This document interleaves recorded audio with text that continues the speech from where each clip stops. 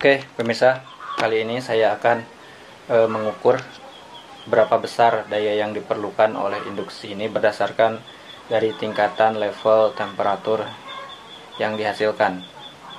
Oke, di sini saat ini rumah ini e, hanya menyala modem WiFi sama lampu ruangan ini. Kita ukur di sini karena saya tidak punya wattmeter, jadi saya ngukur di KWH ini saja cara mengukurnya 47 enter.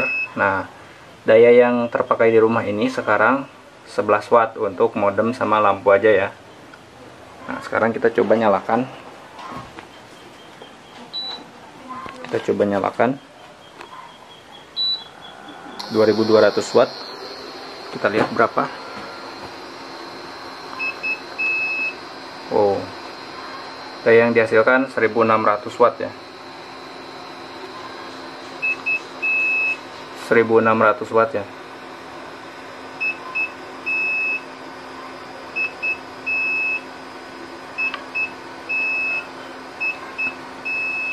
Cenderung stabil di 1687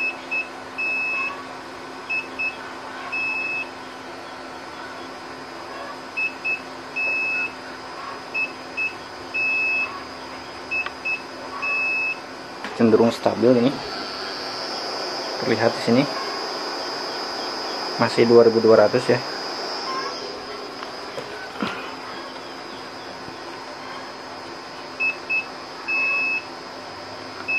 seribu enam ratus wattan. Nah berarti 1600 watt listrik dikonversi ke panas 2200 watt. Tentu ini suatu yang sangat hebat ya Nah, kalau kita turunkan ke 2000 watt, berapa daya yang dibutuhkan? 1500 watt ya.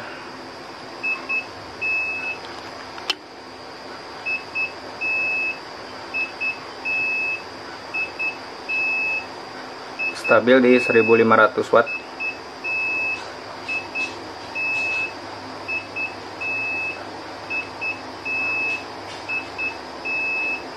Kita turunkan lagi ke 1800 panasnya.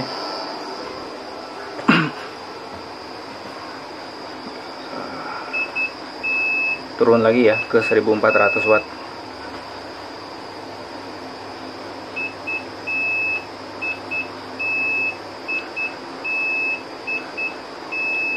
Kita turunkan lagi ke 1500 watt.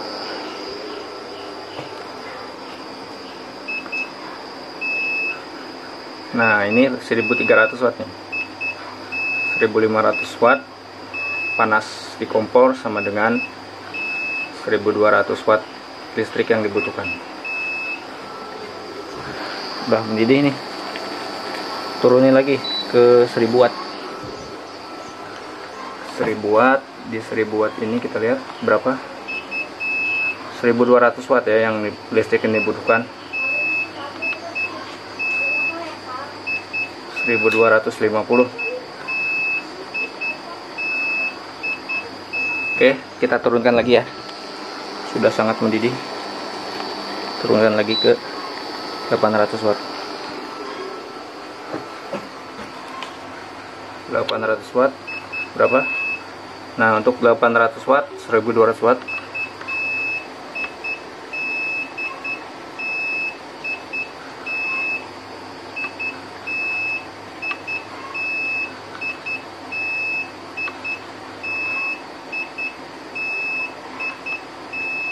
Oke, kita turunkan lagi.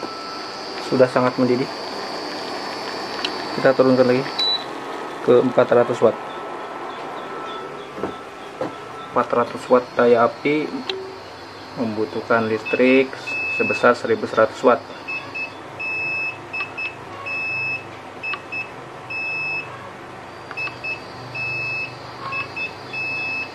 seratus watt ya.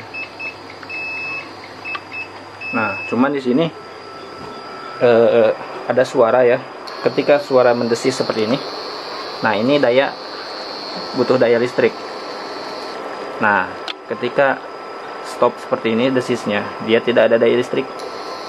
Jadi stop and play ini sistemnya.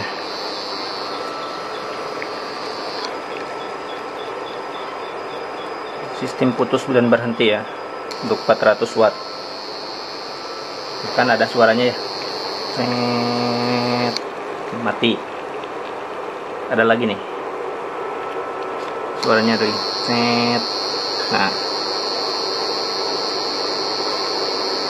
hilang suaranya. Perhatikan ini ketika bersuara ketika bersuara 1100 nah ketika mati 900 oh ketika mati ini 16 watt. Cuma 16 watt jadi rumah ini aja jadi mati dia. Satu dua tiga empat lima. Satu dua tiga empat lima. Oh 5 detik dan 5 detik ya kalau yang 400 kalau yang 800 kita lihat tidak ada berhenti. Kalau yang 800 tidak berhenti ya terus continue. Continue terus. Turunin coba ya. 200 watt panas pas panas 200 watt membutuhkan 72 72 pas mati. Ini sedang mati. Nah nyala lagi. 800 watt dibutuhkan oh 1100 masih 1100 ternyata. 1100 cuman tidak kontinu putus-putus nah putus-putus dia. Berjalan berapa detik kemudian berhenti. 1 2 3 4 5 6 7 8 9 10 oh 10 detik ya 10 detik berhenti. 5 detik menyala. 5 detik menyala. Oke itulah daya yang dibutuhkan nanti setelah ini berikut ini tabelnya ya. Rinciannya ya.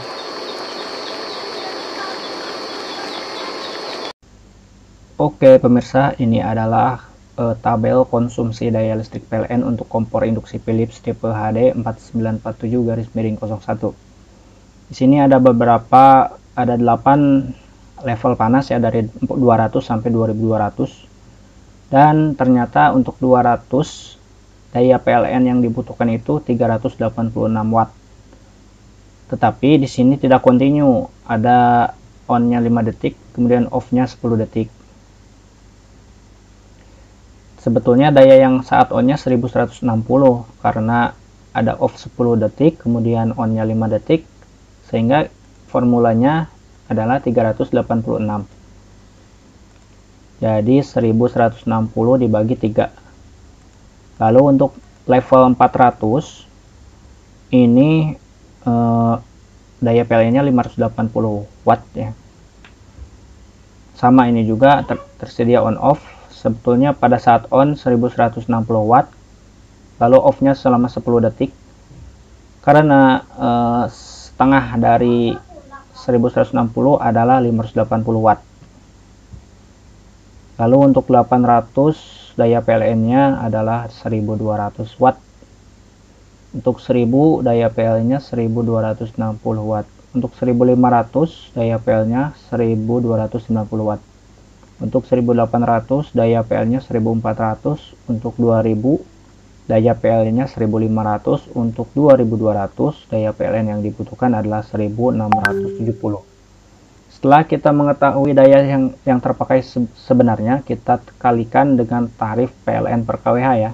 Tarif ini adalah tarif dasar listrik ya per hari ini ya per tanggal 17 Desember 2023 untuk meteran 1300 dan 2200 tarifnya sama yaitu 1444,7 rupiah per kWh maka dari sini eh, KWH ini maksudnya adalah 1000 watt per jam. Jadi pemakaian 0,386 selama satu jam itu 0,30 0,386 kWh kW ya 0,386 kW dikali satu jam itu per jamnya adalah 558 rupiah. Lalu daya 580 0,58 kW satu jamnya itu 838 1200 per jamnya itu 1734 34 dan 1000 1260 biayanya 1820 rupiah per jam. 1290 biayanya adalah 1864 rupiah per jam. Daya 1400 yaitu 2023 per jam 1500 watt. Biaya per jamnya adalah 2167 rupiah. Dan paling tinggi 1670 watt. Biaya per jamnya 2413 jadi logikanya seperti ini. Kalau kita pakai kompornya dengan level tertinggi yaitu 2200 daya PL nya 1670 maka satu jam kalau satu jam continue maka kita harus beli token sebesar 2413 rupiah nah gitu contoh kasusnya seperti ini Diketahui kompor listrik induksi rata-rata dipakai 2 jam per hari. Continue ya 2 jam per hari untuk memasak berbagai macam makanan. Hitung biaya listriknya selama sebulan berapa. Nah, dari data tadi kita tinggal kalikan saja ya. Karena eh, ini durasi durasinya 2 jam per hari ya, kita caranya adalah kita kalikan.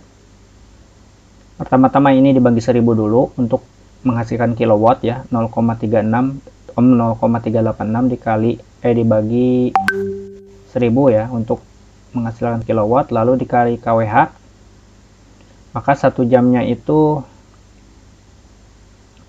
uh, ini ya 558 558 kemudian dikali 2 jadi 2 jam ya. Lalu dikali 30 hasilnya adalah 33.459 per bulan ya. Sangat murah sekali ini kalau kita pakai level ini. Tentunya dalam praktek sehari-hari variasi level panasnya tidak bisa untuk 200 dan 400 pasti saat mendidihkan kita perlu yang agak panas ya. Yang lebih panas yaitu normalnya sih dari 800 sampai 2200 maka kalau misalkan kita ambil tengahnya yaitu 1500 watt atau 1000 biayanya itu sekitar 109 sampai 111 kita bulatkan aja 110.000 per bulan untuk konsumsi masak memasak 2 jam per hari ya. Nah seperti itu. Untuk irit atau tidaknya ya tergantung dari bagaimana pintar-pintarnya kita mengatur level panasnya.